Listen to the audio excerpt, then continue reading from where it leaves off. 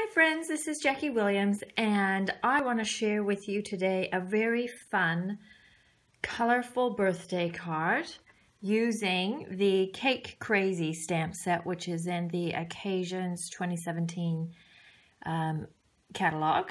It may carry over into the main catalog, we just don't know yet. The thing I love about this set is that you can do lots of layers on this and make it in any colors you want, suitable for younger people, for adults, for girls, for boys, uh, for something more mature or something quite fun and bright and crazy like this one.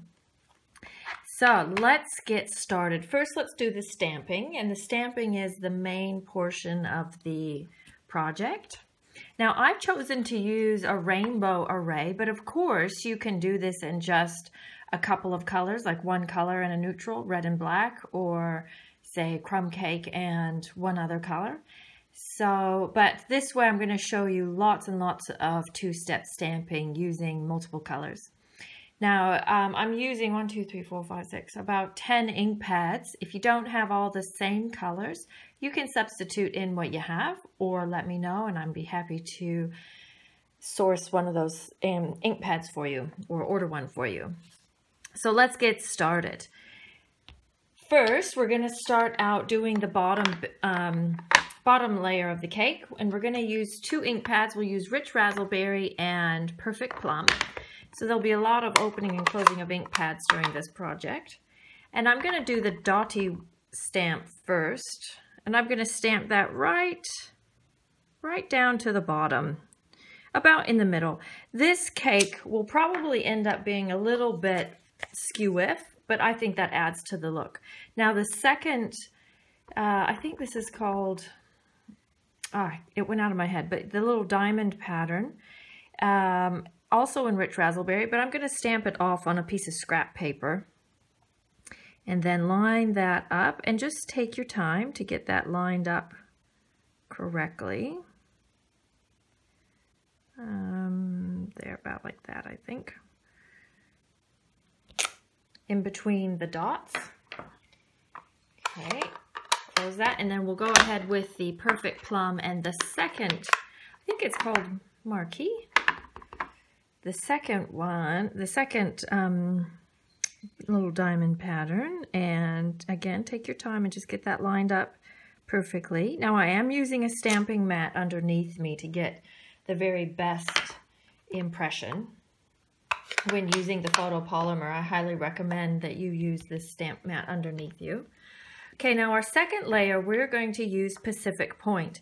And we've got two layers to this layer, so we're going to stamp off with one. The first, so you can choose to put it so the two tall sides are together so that your cake sort of starts going off to a lean. I'm going to rotate it so that it goes a little more straight up, but um, whatever, whatever suits you.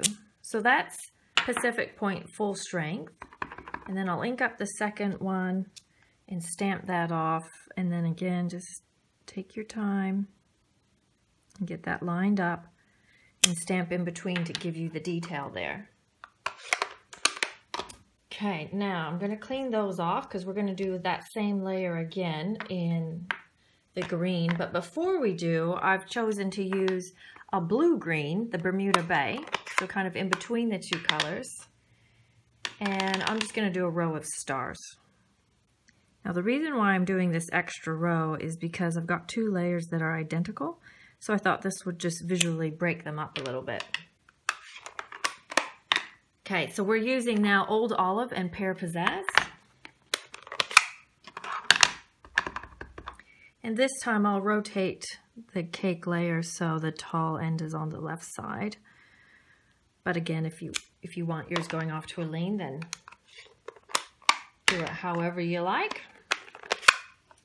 And then Pear Pizzazz, which is the lighter version of Old Olive. Let's see, yeah, about like that. Okay, love how those turn out. All right, then next we're going to use crushed curry. This is my personal yellow of choice. And I'm going to do a layer of just a little bow. It's hard for me to see with the camera right here. Okay.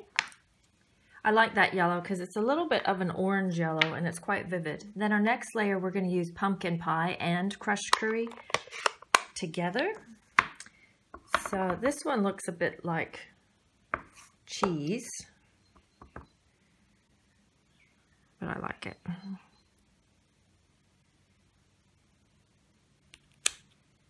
Okay. And then to do the fill for this one, so to fill in the dots, I'll use crushed curry. So I need to put that kind of more directly under me so I can see that the dots are in the right place. Okay. And then our last cake layer, I'm going to use real red. You can see that even though I've somewhat straightened them up as we went along, we're still off to a lean, but I personally quite like that, that fun look. Okay, and then the top layer is real red. Okay, then let's do some candles. So I'll use basic black for this some candles on top of our cake. Oh, we're just gonna make it for space.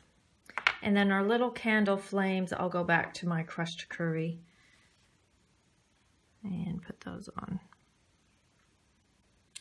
And You could throw a little Wink of Stella or something on those. That would be quite cute. And then let's do some words. So the It's Your Birthday words, you would just place that wherever there's sort of a gap, you know, however your cake turns up. So I'm going to put mine here. Okay.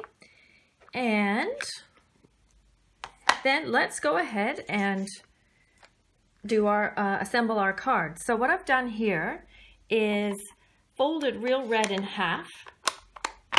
And then I have used two strips of the Designer Series paper stack, the neutrals, or any black and white paper that you have.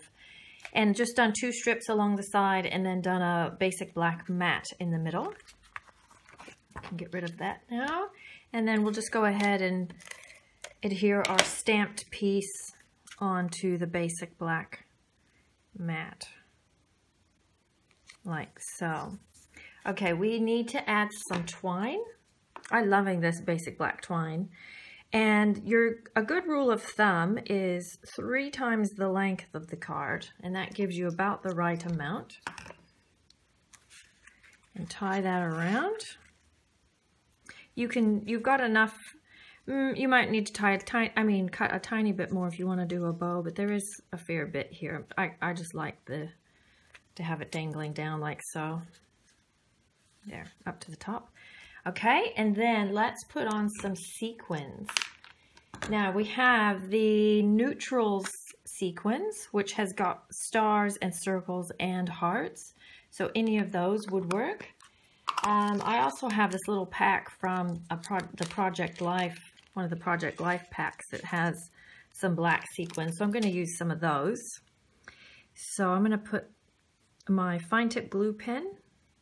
It's easiest to just put the glue where you want the sequins and then drop the sequins down into it. That saves getting glue all over your fingers, hopefully.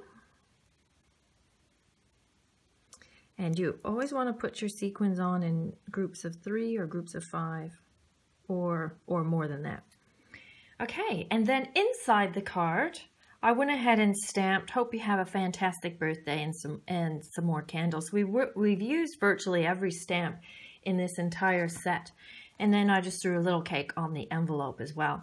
Now I am offering for April 2017 this project as a kit. So please visit my website, www.stamphappy.co.nz or NZ for um, details and pricing on that. I hope that you give this a try and I'd love to see a picture. Thanks for watching.